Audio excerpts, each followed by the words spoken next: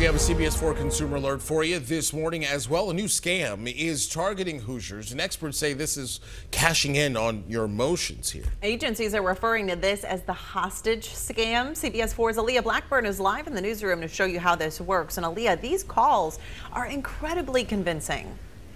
Yes, they are. The Better Business Bureau says it's seeing more scams just like this, and it's already hitting Hoosiers across the state. It starts with a call pretending to be from your loved one's phone. The caller says they have them hostage, and if you don't send money, they'll get hurt. They demand money through transfer apps like Venmo, Zelle, PayPal, or even Apple Pay. Experts say these calls can be very convincing from the acting all the way to the time of day that they call.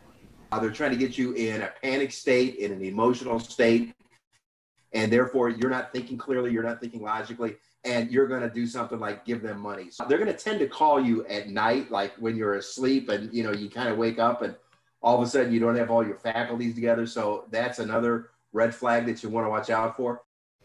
And it's also easy for scammers to access personal information about you or your family. Experts say they often pull from social media or family history sites and use that information to build a convincing story. If this happens to you, officials highly recommend calling the police right away. You can also report it to the BBB, and we have a link to do that over at CBS4Indy.com. In the newsroom, Aaliyah Blackburn, CBS 4 News.